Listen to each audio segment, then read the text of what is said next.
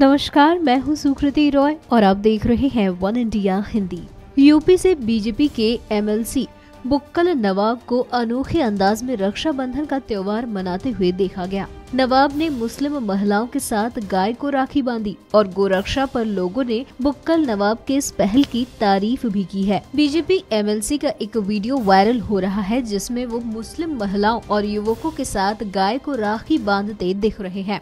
बुक्कल ने कहा कि हम सभी ने राखी बांधकर आज गोरक्षा करने का संकल्प भी लिया है। वहीं बुक्कल ने बताया कि उन्होंने अपने दिवंगत पिता द्वारा बनवाए गए शिव परिसर में गायों के साथ रक्षाबंधन का ये त्योहार त्योहार मनाया। उन्होंने इस पहल में हिस्सा लेने के लिए मुस्लिम समाज की महिलाओं और पुरुषों को धन्यवाद भी दिया है। बता दें कि बुक्कल नवाब खुद को हनुमान का भी भक्त बताते हैं। एमएलएसी प्रत्याशी बनाए जाने पर वो भगवा वस्त्र में हनुमान मंदिर पहुँच गए थे। इतना ही नहीं, यहाँ मंदिर में पूजा करने के बाद इस पूर्व समाजवादी नेता ने ये भी दावा किया था कि अयोध्या में राम मंदिर ज़रूर बनेगा। फ़िलहाल इस वीडियो में इतना ही। ऐसी ही कई अन्य जानकारियों के लिए बने रहिए हमारे साथ।